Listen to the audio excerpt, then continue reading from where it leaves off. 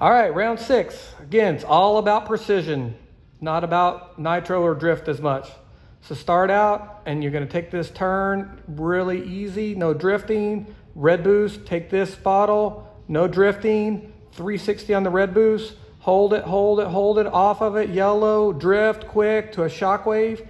Take this and you're gonna come up here, you're gonna gasless drift real quick, shockwave, and then you're gonna come off and back to a yellow across that blue bottle. Take the yellow, take this bottle, drift early here, gasless, and then get on the red and get back to full speed and make it to the end.